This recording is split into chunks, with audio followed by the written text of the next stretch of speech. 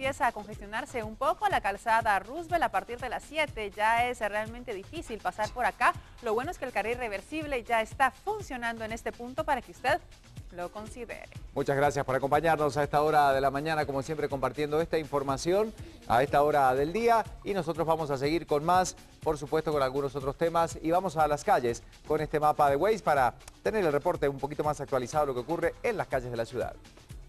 Es correcto, gracias Ricardo. Yanitza, fíjense que sí, les prometí un cambio drástico, un cambio dramático en lo que está sucediendo en la ruta interamericana, la CA1 Occidente, y ahí está, en efecto, miren ustedes, saturadísimo el movimiento vehicular y muy lento, por cierto, 9 kilómetros por hora para los vehículos que se quieren incorporar a la calzada Roosevelt. Está complicado el movimiento vehicular por ahí, hay presencia policial y también están destacando algunos puntos importantes, por ejemplo, esta llamada de seguridad justo en ese inicio de la calzada Roosevelt y que queremos ver que es lo que tiene, de qué se trata. Vamos a ver si logramos y alcanzamos a ver. Es un objeto en la calzada, dicen, el puente de acceso Roosevelt. Eh, hace, un, hace 22 minutos un usuario lo eh, posteó ahí en la comunidad Waze Guatemala y nos hace favor de enterarnos a todos los que tenemos esta plataforma dispuesta pues en algún dispositivo móvil o en este caso como nosotros que lo hacemos a través de nuestra tablet.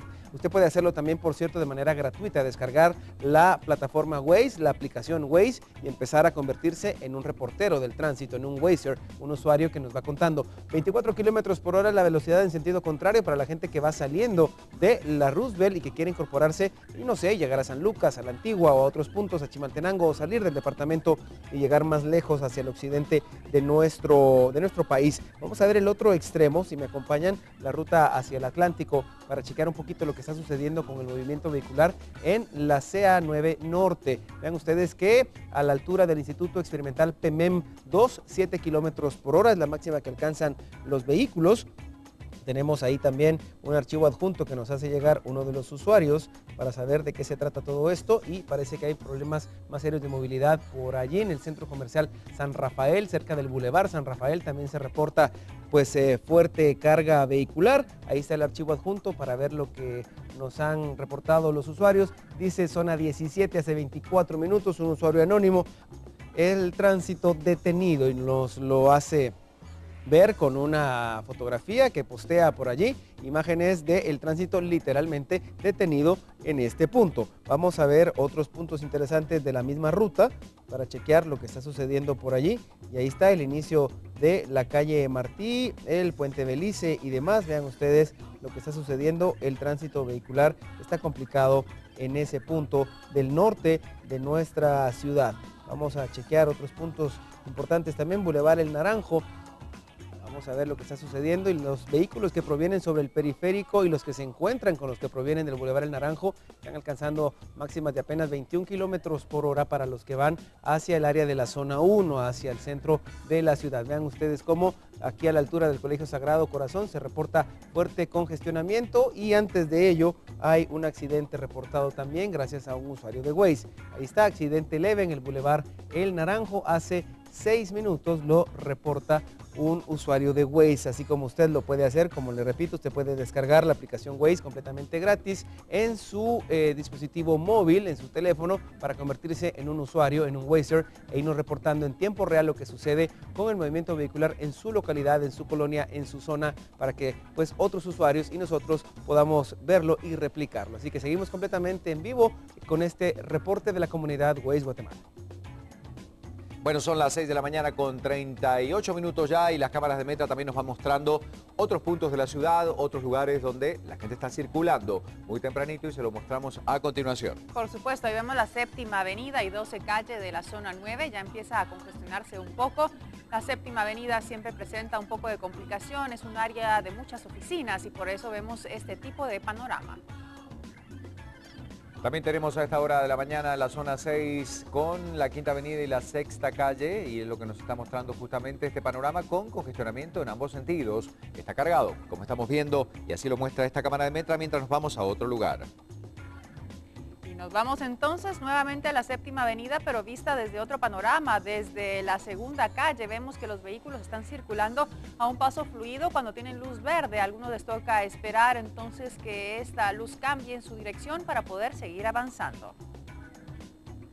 Con más información a esta hora en la zona 15, como decíamos, Vista Hermosa, ahí está el bulevar en ambos sentidos, está fluyendo a esta hora de la mañana, así que no hay mayor congestionamiento vehicular. Esto es lo que nos trae el reporte informativo a esta hora, 6 con 40 minutos y nosotros tenemos que continuar con algunos otros temas y las noticias de todos los días que también forman parte de este recorrido. así es, hay más noticias de esas curiosidades. Loren Quinto. Noticias relevantes internacionales. Resulta que en Quebec, Canadá, un niño sorprende al mundo con un video que ya es viral, donde toca un blues de B.B. King. Un niño con ceguera total está dando de qué hablar luego de la difusión de un video en donde interpreta un tema que popularizó B.B. King. En el video se aprecia que el chico está en un campamento de la Fundación de Ciegos de Quebec y delante de otros discapacitados visuales toca la canción Every Day I Have the Blues. El niño da una gran muestra de su talento musical, por lo que es muy probable que más adelante dé más de qué hablar. Félix, que es el nombre de este chico, tuvo su primera guitarra a los seis años. Aprendió de modo empírico escuchando canciones en la radio, como ustedes pueden ver en el video. Pues este niño ya tiene bastante talento, está dando mucho de qué hablar en las redes sociales y la ceguera total que tiene pues no es impedimento para disfrutar de la música y de este arte tan maravilloso y que también las demás personas que lo rodean puedan disfrutar de él.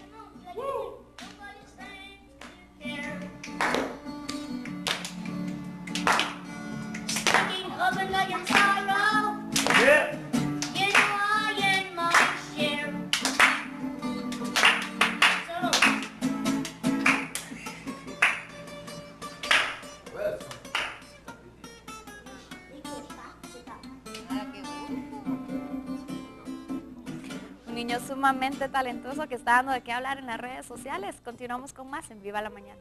Bueno, esas cosas que pasan, además, más allá de que es muy pequeño, por supuesto, está imposibilitado para ver y ahí lo vemos justamente nosotros interactuando con, este instrumento y realmente haciendo una gran Eso obra. nos puso aquí a aplaudir y a bailar a muchos, así que muy linda noticia. Gracias, Lorraine. Ahí está, 6 con 42 minutos y ahora sí hay una cifra que ponemos todos los días en la información. Este es el dato de hoy.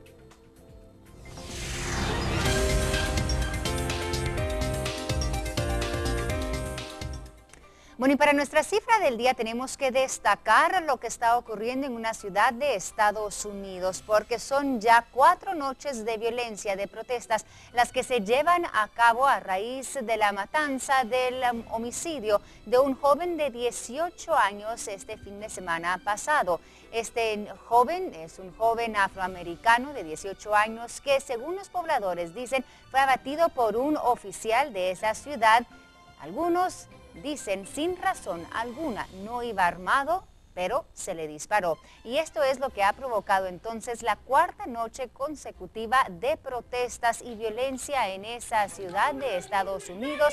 La policía está en vigilia, están en guerra, dicen los pobladores, porque las autoridades, el director de la policía, no ha querido revelar tampoco la identidad del oficial que mató a este joven de 18 años y por eso, dicen, los pobladores están intranquilos y están inconformes con la manera en que la policía, en que las autoridades han realmente lidiado con esta situación han ingresado a negocios, a saquearlos y también las cifras nos dicen que por lo menos 10 personas han sido detenidas, 40 personas también han resultado heridas. Es el panorama que se está viviendo en esta pequeña población de Estados Unidos tras la muerte de un joven de 18 años que fue abatido por un oficial sin estar armado y sin razón aparente, según ciertos testigos que estaban allí. La policía se prepara porque se presume que esta noche sería la quinta ocasión en que salen a las calles las protestas. Lo que está ocurriendo en el mundo, en Estados Unidos,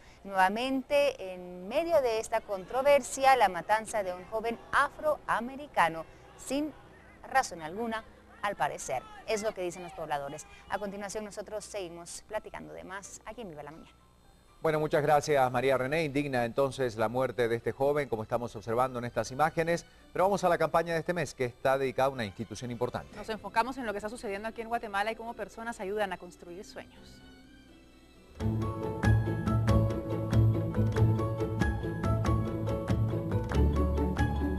Hola, mi nombre es Carlos Quintanilla y soy parte de Hábitat para la Humanidad Guatemala. Actualmente, el déficit habitacional en el país asciende a 1.8 millones de viviendas. Durante 35 años, Hábitat Guatemala, junto a empresas, instituciones educativas, religiosas y voluntarios nacionales y extranjeros, ha colaborado para reducir esta problemática. Sin embargo, hoy en día sabemos que nuestro trabajo debe de continuar. Por eso te invito a que con tus manos y tu corazón voluntario te sumes a esta gran familia. Nos puedes encontrar en Facebook como Hábitat Guatemala y en nuestra página web como www.habitatguate.org. Súmate, involúcrate y sé voluntario Hábitat.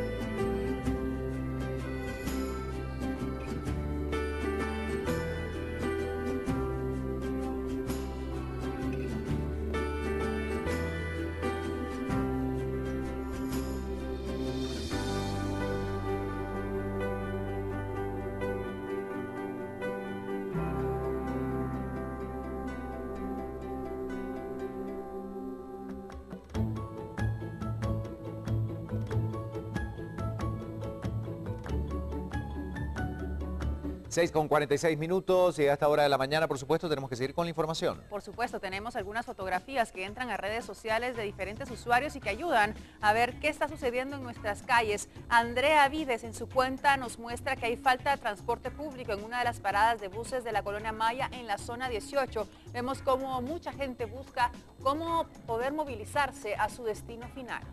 Bueno, y con más información, por supuesto, para este recorrido, porque la Policía Municipal de Tránsito de Villa Canales habilita segundo carril reversible de Villa Canales hacia la ciudad de Guatemala. Así está funcionando. El Departamento de Tránsito de la PNC dice que la entrada principal a Salamá, Baja Verapaz, se encuentra despejada. Recuerde utilizar siempre su cinturón de seguridad.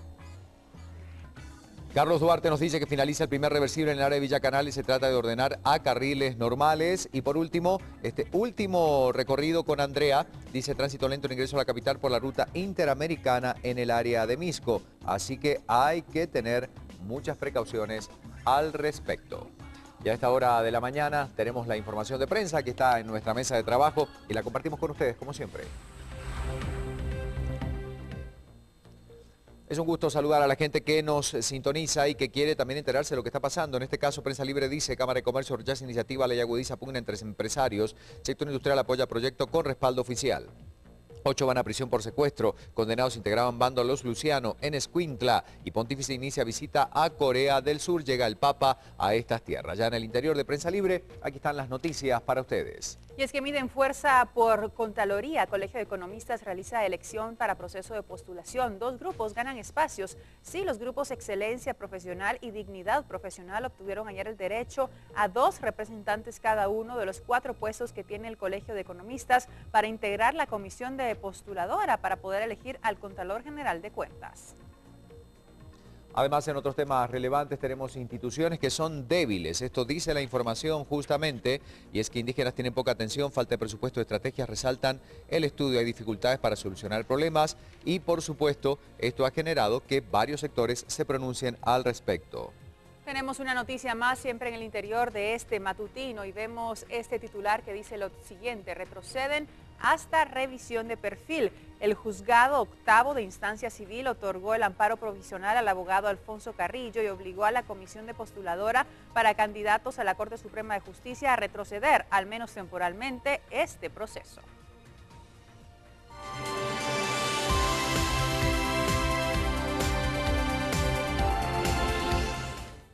Y bueno, la bancada del Partido Libertad Democrática Renovada, líder, hizo que llegara el representante del Congreso en el directorio del Registro Nacional de Personas al Legislativo para que explicara cómo justamente debe aclarar y cómo ocupaba este puesto tan importante. Estamos hablando de robos de software para leer el chip del documento personal de identificación. El funcionario aseguraba que los datos sensibles